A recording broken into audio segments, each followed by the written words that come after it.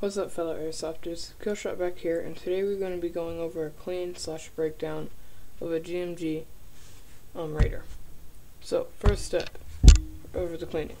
Take your little ramrod came with it, take the little cleaning tip part of it, grab your little, grab a gun cleaning patch, fold it over twice, long ways, just like that, pinch it together, take it.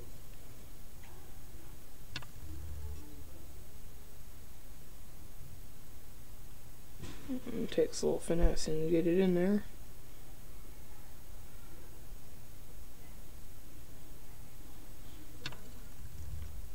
Okay. Now you've got it through.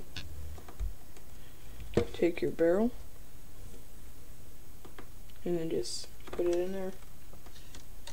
Twist it a few times while you're pulling it out. Put it back in. Do that again. A few more times. Now that's done, just put your gun down. Take the patch out of your rod. Just throw it away after that. You won't need your cleaning rod anymore. Just throw that to the side. So now, for the disassembly part of this, flip your gun over. Now, there's a, use your punch, there's a little pin. A little pin right, right there. A little black pin right there. What you want to do is you want to take your punch, you just want to punch that pin through.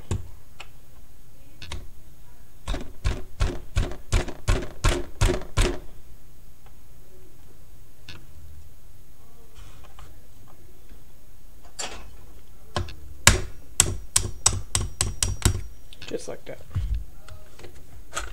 Just, now, the pin won't come all the way out. You just slide the top half of your gun off. Now this bottom piece, the lower, we don't want to mess with that. Now this comes up like that. Now you can pull out the inner barrel and the hop up unit, just like that. Now there's a little spring in there you also want to grab. You set that down.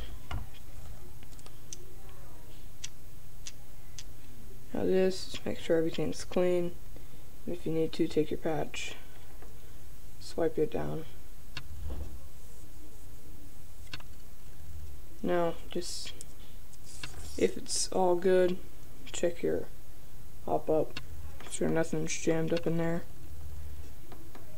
Barrel.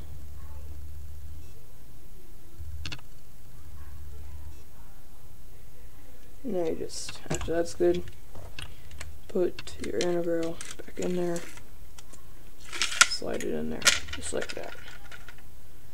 Take this, slide it up on there,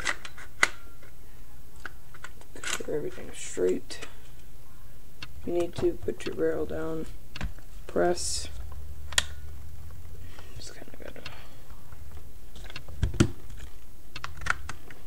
pin in just like that.